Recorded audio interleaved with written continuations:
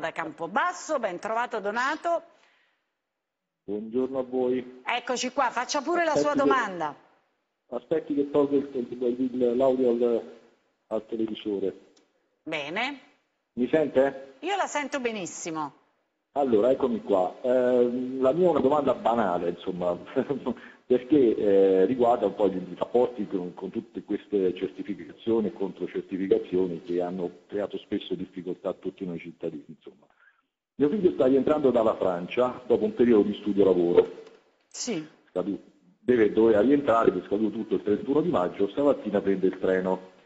Eh, il treno dalla Francia all'Italia è stato soggetto a due o tre controlli, eh, certificazioni, tutto a posto, se non che nessuno gli sa dire, anzi qualcuno gli ha paventato che lui adesso che scende a Torino deve fare la quarantena a Torino.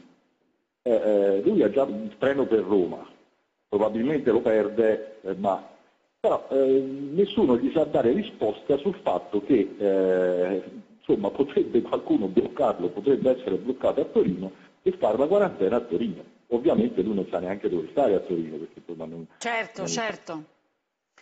Va bene, sentiamo lui, se Celotto è in grado di risolvere questo gli ha detto dubbio. una cosa, il capotreno gliene ha detto un'altra e lui dice se io scendo a Torino e mi bloccano che faccio?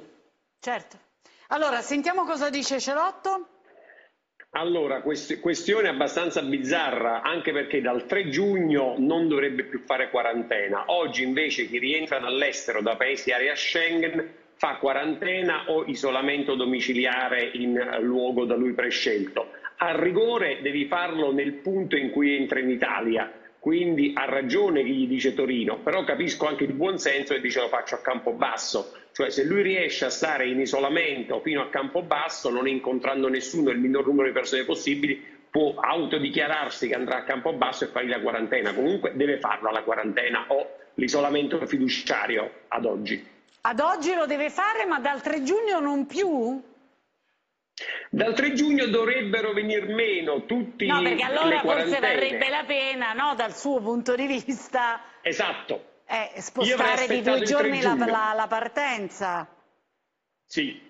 Eh, così Anche non corre se... il rischio di essere fermato a Torino e poi gli dicono no, te la fai qua la quarantena.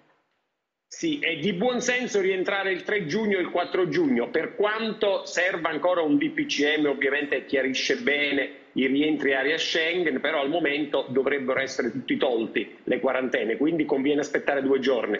Mm, va bene, vediamo... Vede, il buon senso è sempre prima del diritto. No, nel senso che appunto mi chiedo se, se il punto è non sapere se poi si viene fermati a Torino e trovi eh, qualcuno che, eh, poiché ha un'indicazione che è incerta, un po' zelante, e che ti blocca a Torino e a Torino non c'hai casa, non c'hai nulla e hai davanti a te 14 giorni, forse aspetti due giorni e rientri direttamente a casa tua a Campobasso, mettiamola così.